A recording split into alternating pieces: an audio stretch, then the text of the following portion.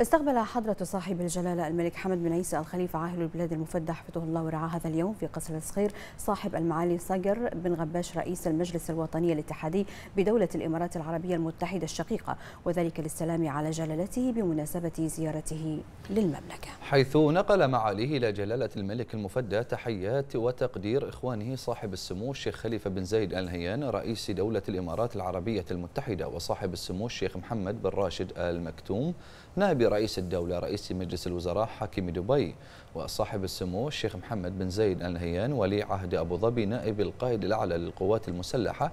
وتمنياتهم لمملكة البحرين وشعبها باستمرار التطور والازدهار. ورحب حضرة صاحب الجلالة برئيس المجلس الوطني الاتحادي وأبلغه بنقل تحياته إلى إخوانه صاحب السمو رئيس دولة الإمارات العربية المتحدة وصاحب السمو نائب رئيس دولة الإمارات رئيس مجلس الوزراء حاكم دبي وصاحب السمو ولي عهد أبو ظبي نائب القائد الأعلى للقوات المسلحة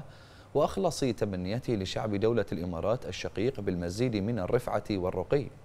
وعرب جلالته عن اعتزازه بالعلاقات التاريخية الأخوية الوثيقة التي تجمع بين مملكة البحرين وشقيقتها دولة الإمارات العربية المتحدة والتي تزداد رسوخا وقوة في ظل الحرص المتبادل على تطويرها وتوسيع آفاقها. مؤكدا رعاه الله على أهمية مثل هذه الزيارات الأخوية التي تسهم في تفعيل أطر التعاون وتبادل التجارب والخبرات فيما يخص العمل البرلماني والديمقراطي إلى جانب التنسيق حيال مختلف القضايا المشتركة. مشيدا جلالته يده الله بدور المجلسين في البلدين وسامهما في تقوية أواصر العلاقات البحرينية الإماراتية على المستويين الرسمي والشعبي.